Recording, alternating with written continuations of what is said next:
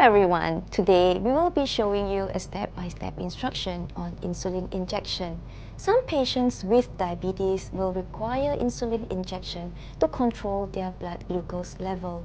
The proper techniques of mixing, injecting and storage of insulin are crucial in the patient's diabetes care.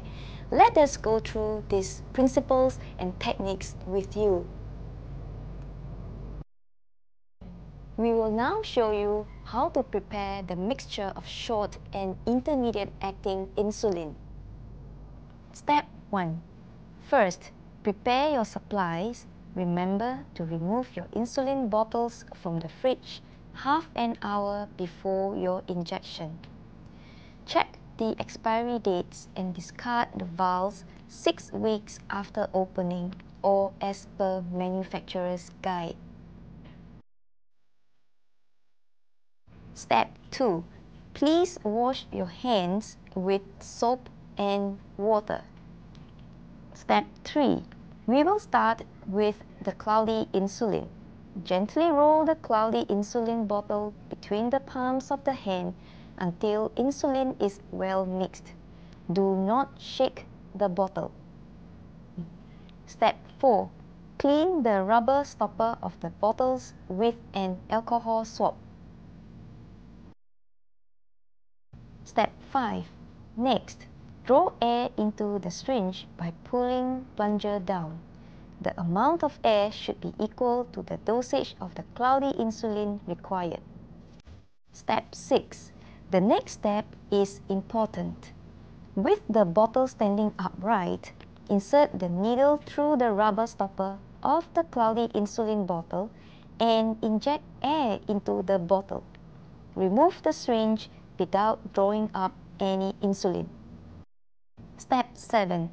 Repeat this with the clear insulin.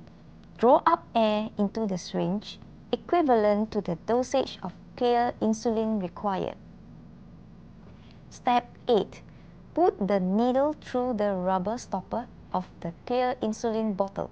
Inject air into the bottle. Step 9.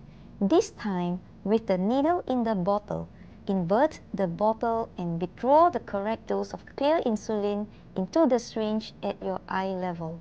Remove air bubbles if present. Step 10. Then, put the needle into the cloudy insulin bottle. Invert the bottle and withdraw the cloudy insulin. This will now give you a total dose of both clear and cloudy insulin.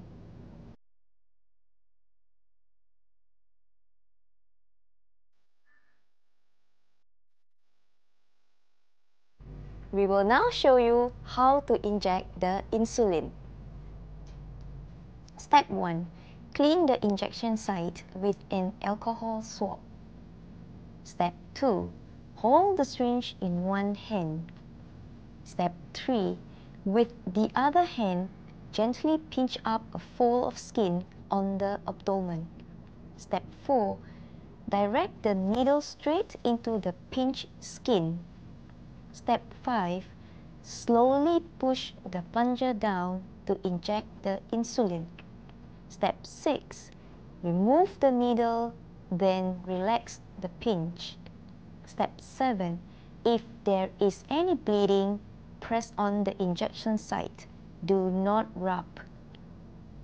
Let us now look at insulin storage. It is important to store insulin appropriately to ensure its optimal function. Insulin should be stored in a refrigerator at 2 to 8 degrees. Do not store in the freezer.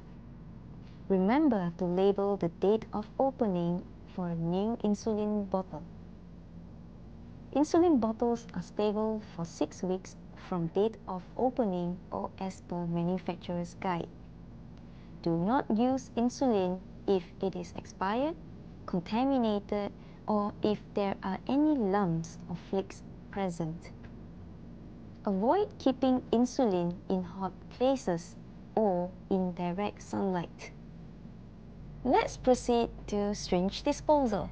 After each insulin injection, You will need to discard your insulin syringes appropriately to prevent any forms of injuries. Remember, insulin syringes are only meant to be used just once, then discarded. Dispose syringes into a hard plastic or metal container with a screw-on or tightly secure lid.